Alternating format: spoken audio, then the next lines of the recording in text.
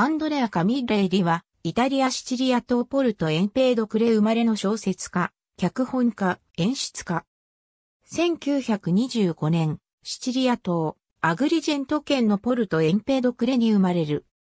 若い頃から舞台に興味を持ち、1942年から同郷のノーベル賞作家、ルイジ・ピランデッロの作品の舞台演出などを手掛けていた。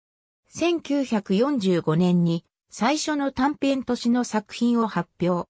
1948年から1950年まで、ローマのシルビオ・ダミーコ国立演劇芸術アカデミーで演出を学ぶ。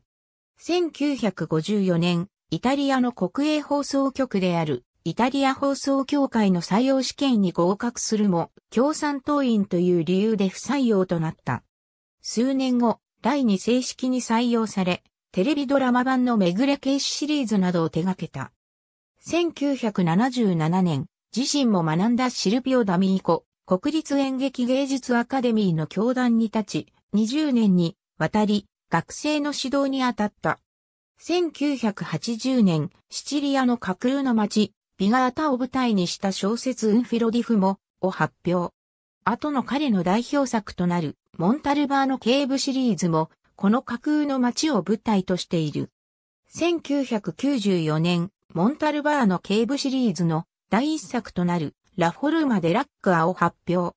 これは、シチリアの架空の街ビガータの警察署を舞台にした推理小説で大成功を収めた。以降、2008年までに18作品が発表された。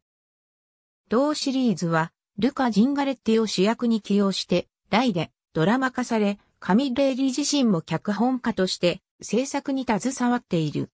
2003年、カミレーリの偉業を称え、生まれ故郷のポルトエンベードクレ氏は、死の名前にビガータを復帰することを決めた。2019年7月17日、ローマの病院で死去。93歳没。ありがとうございます。